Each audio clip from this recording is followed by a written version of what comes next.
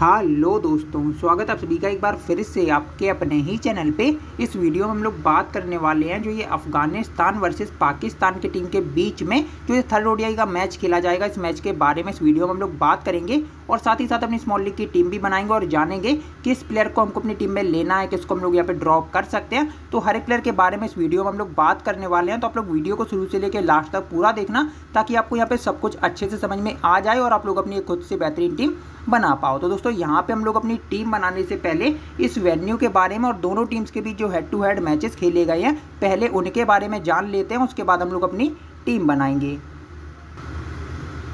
तो यहाँ पे दोस्तों पहले दोनों टीम्स के हेड टू हेड मैचेस की बात करें तो दोनों टीम ने हेड टू हेड में अभी तक टोटल छः ओडीआई के मैच खेले हैं, जिसमें से छः के छः मैच यहाँ पे पाकिस्तान की टीम ने ही जीते हैं। अफ़गानिस्तान की टीम पाकिस्तान की टीम से अभी तक कोई भी ओडीआई का मैच नहीं जीत पाई है। तो आप ये चीज़ यहाँ पे देख के चल सकते हैं। अब इस सीरीज़ की बात करें तो ये सीरीज़ तो पाकिस्तान की टीम जीत चुकी है यहाँ पे दो ज़ीरो से। तो अभी ये आखिरी मैच बचा, इस मैच में देखते हैं क्या होता है। अब यहाँ पे दोस्तों हम लोग इस वेन्यू की बात करें तो ये match R Premadasa stadium Colombo में खेला जाएगा। इस वेन्यू की दोस्तों बात करें तो फ़र्स्ट इनिंग का एवरेज स्कोर दो का रहा है सेकेंड इनिंग का एवरेज स्कोर एक का रहा है। यानी कि अगर ओवरऑल इस वेन्यू के बारे में बात करें तो दोस्तों ये बैटिंग के लिए एक अच्छा विकेट रहता है और कोई टीम अगर यहाँ पे खराब ना खेले तो अच्छा खासा यहाँ पे स्कोर बनाया जा सकता है। अब यहाँ पे पेस वर्सेस स्पिन की बात करें तो यहाँ पे दोस्तों जो लास्ट 10 मैच इस वेन्यू पर खेले गए हैं, अगर आप उनमें देखेंगे तो 55 विकेट पेसर्स ने निकाले हैं, वहीं अंठानवे विकेट स्पिनर को मिले हैं।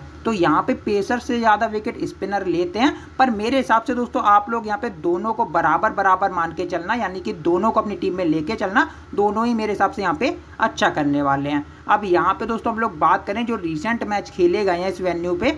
अगर यहाँ पे अगर आप उनका स्कोर कार्ड देखेंगे तो आपको यहाँ पे पता चल जाएगा किस तरह का यहाँ पे स्कोर बना है। तो रिसेंट में दोस्तों यहाँ पे पाक ए वर्सेस इंडिया ए की टीम के बीच में ये एमर्जिंग एशिया कप का मैच हुआ। इसमें आप देखेंगे तो पाक ए की टीम ने पहले बैटिंग करते हुए यहाँ पे तीन सौ बावन बनाए। और इस मैच को इंडिया ए की टीम को 224 पर ऑल आउट कर दिया। तो ये मैच इंडिया की, इंडिया ए की टीम हार गई थी। उससे पहले यहाँ पे देखेंगे तो India A versus Bangladesh A की टीम के बीच में मैच हुआ।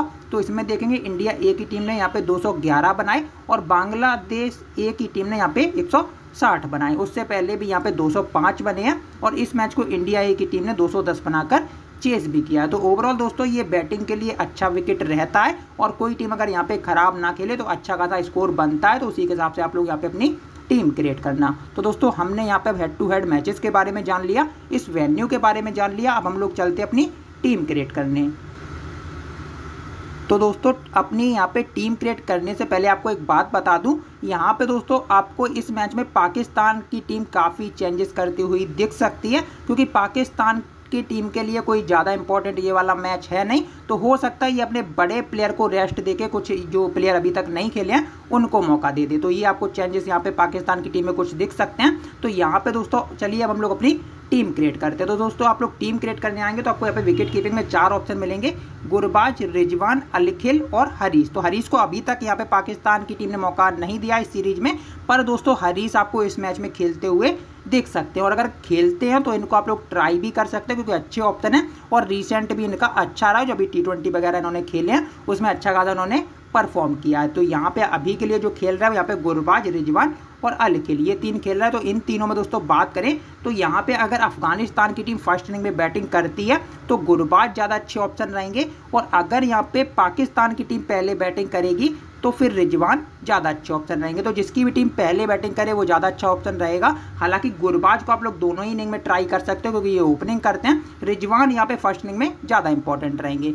तो फ़िलहाल के लिए दोस्तों मैं यहाँ पे बात करूँ तो मैंने अभी के लिए गुरबाज को ही लिया है। पर अगर यहाँ पे पाकिस्तान की टीम पहले बैटिंग करती है और रिजवान खेलते हैं तो ये भी अच्छे ऑप्शन रहेंगे। ऐसा भी हो सकता है आपको रिजवान खेलते हुए ना दिखें, इनकी जगह पे हरीश दिख जाएँ। तो जो भी होगा वो टॉस के बाद ही हमको पता चलने वाला है। फ़िलहाल के लिए मैंने यहाँ पे गुरबाज को लिया अलखिल उतने अच्छे रहेंगे नहीं, इनको यहाँ पे अभी ट्राई नहीं करना है। अभी आप हम चलते हैं बैटिंग सेक्शन में।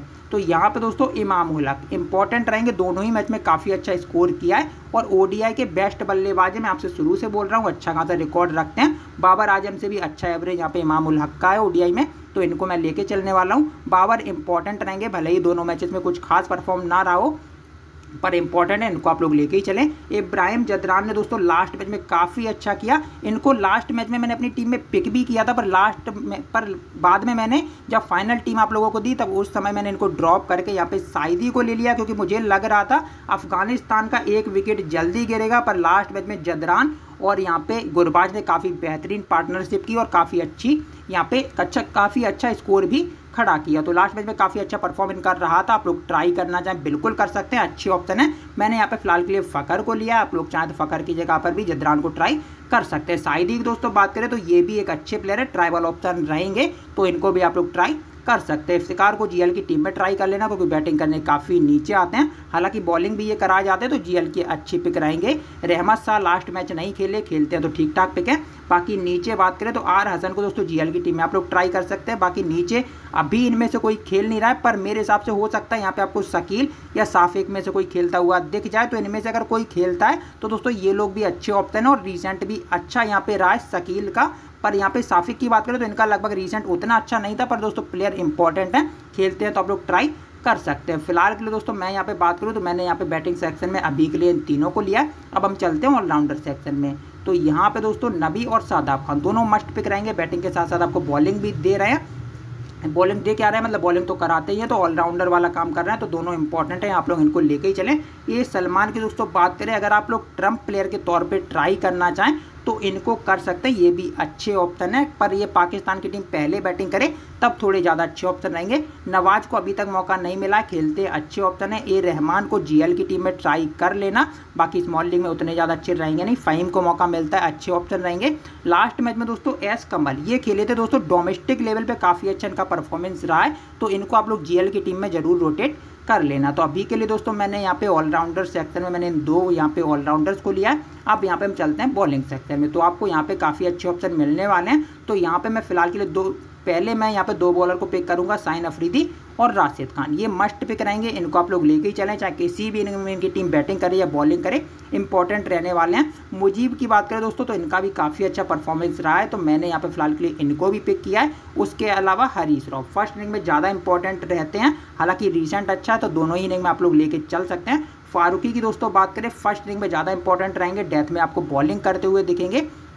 हालाँकि लास्ट मैच में इन्होंने सेकंड इनिंग में भी काफ़ी अच्छा परफॉर्म किया, पर ये फ़र्स्ट इनिंग में ज़्यादा इंपॉर्टेंट रहते हैं। नसीम शाह की दोस्तों बात करें तो ये भी एक अच्छे प्लेयर हैं और फ़र्स्ट इनिंग में ज़्यादा इंपॉर्टेंट रहते हैं। तो इनमें से जिसकी भी टीम पहले बॉलिंग करे, आप उसको यहाँ पे पिक करके चल सकते हो। यू मेरे की दोस्तों बात करें तो ट्रंप बन सकते हैं। जैसा कि आपको मैंने अभी आगे दिखाया कि यहाँ पे स्पिनर भी अच्छा करते हैं तो स्पिनर भी यहाँ पे आपको अच्छा खासा करके हुए दिख सकते हैं तो यू मेर यहाँ पे काम आ सकते हैं। तो इनको आप लोग ट्राई कर सकते हैं। फ़िलहाल के दोस्तों मैं यहाँ पे बात करूँ तो मैंने अपनी टीम में यहाँ पे फ़िलहाल के लिए फारूकी को लिया है तो अगर यहाँ पे पाकिस्तान की टीम पहले बॉलिंग करेगी तो मैं यहाँ पे नसीम के साथ जाऊँगा और अगर यहाँ पे अफ़गानिस्तान की टीम पहले बॉलिंग करती है तो फिर मैं यहाँ पे फारूकी को पिक करके चल सकता हूँ तो फ़िलहाल के लिए दोस्तों मैंने यहाँ पे फारूकी को ही लिया है तो फ़िलहाल जो मेरी यहाँ पे टीम बन रही है वो यहाँ पे कुछ इस प्रकार है अब यहाँ पे दोस्तों सीवीसी ऑप्शन की बात करें तो आपके पास यहाँ पे बाबर का ऑप्शन रहेगा अगर पाकिस्तान की टीम पहले बैटिंग करती है तो उसके अलावा यहाँ पे बात करें तो राशिद और साइन अफरीदी तो ये लोग अच्छे ऑप्शन रहने वाले हैं सीवीसी के।